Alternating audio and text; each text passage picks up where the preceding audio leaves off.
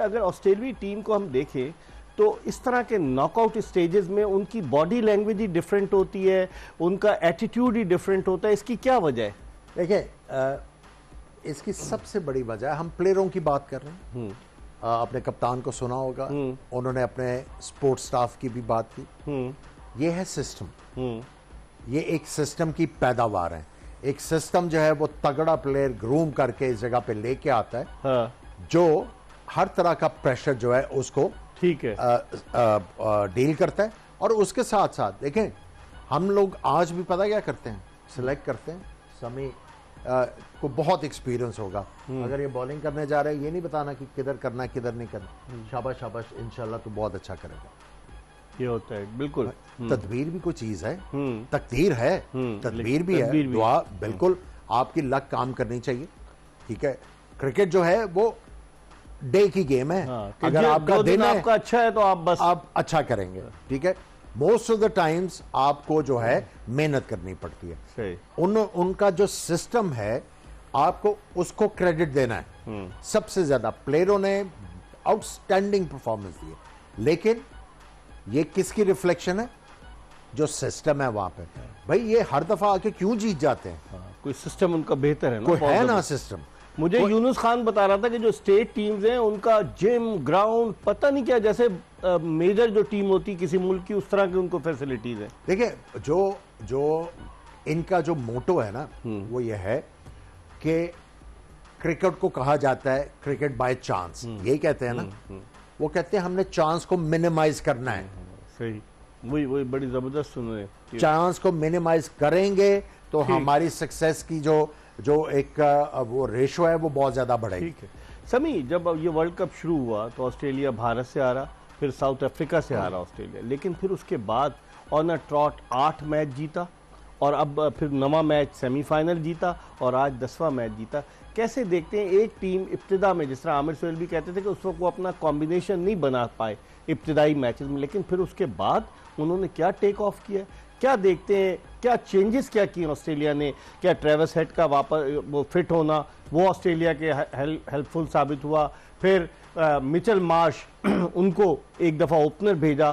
क्या आप रीज़न क्या समझते हैं? देखें इकबाल भाई सबसे मेन रीज़न है मेरे हाल में एटीट्यूड का। जहाँ दो मैच हारे उसके बाद से आप देखिए तीसरे मैच से आए तो उनकी बैटिंग डिफरेंट मूड में लगी। आते ही उन्होंने अटैक शुरू कर दिया है। उन्होंने कहा है कि आप देखें यहाँ पे ऐसा होता है हमारे पाकिस्तान के खिलाफ था ना शायद तीसरा मैच नहीं किसी और के किसी और के खिलाफ था। हाँ। देखिए हमारे यहाँ ऐसा होता है कोई लड़का अगर फॉर्म में है या कुछ है तो वो अपने रन की सोच रहा होता है या अपने गोल्स पहले आगे होते हैं। देखें ऑस्ट्रेलियन टीम ने टीम की सोच रहे जी ऑस्ट्रेलियन टीम का मैसेज बिल्कुल क्लियर है टीम से ऊपर कोई नहीं है। आप अपने पर्सनल अगर रन भी करने हैं तो वो टीम की तरह करना है और टीम के वे पे ही करना है। आपको अटैक करना है ताकि आपकी बाकी टीम का ही दो तो पूरी मैनेजमेंट में काम किया फिर जैम्पा परफॉर्म नहीं कर रहे थे तो टेक्निकली उन्होंने काम किया। आप देखेंगे दूसरे मैच के बाद से उन्होंने विकटों में बॉल शुरू की गोलियाँ शुरू कर दी फ्लिपर शुरू करी।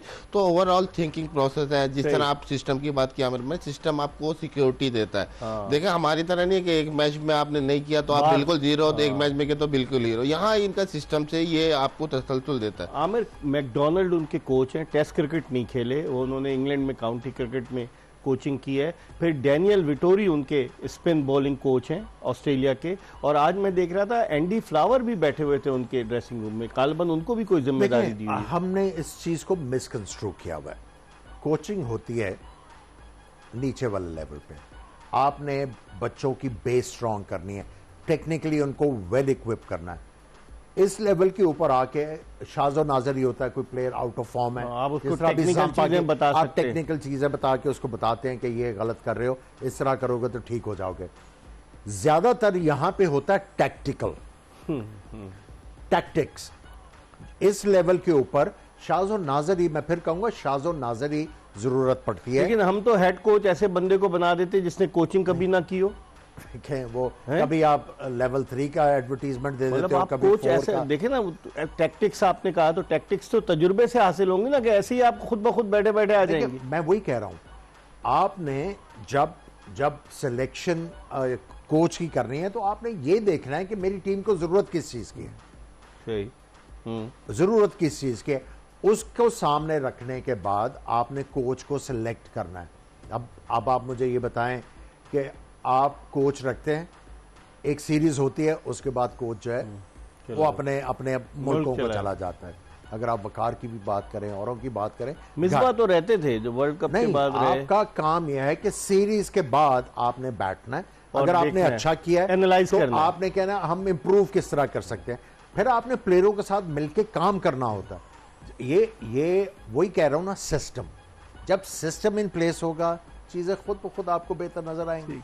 इस पर हम मजीद बात करेंगे कि हमारा सिस्टम किस समत में जा रहा है, क्योंकि ऑस्ट्रेलवी सिस्टम की हमने बात की। ऑस्ट्रेलिया एक छोटा मुल्क है, कोई बहुत बड़ा मुल्क नहीं है, लेकिन क्या इंफ्रास्ट्रक्चर है, चाहे वो क्रिकेट हो, चाहे वो फुटबॉल हो रग्बी हो, हर तरह का इंफ्रास्ट्रक्चर हॉकी हो, उनका बड़ा ज़बरदस्त इंफ्रास्ट्रक्चर है। इस पर हम बात करेंगे एक ब्रेक के बाद। स्टेट यून टू एक्सप्रेस न्यूज़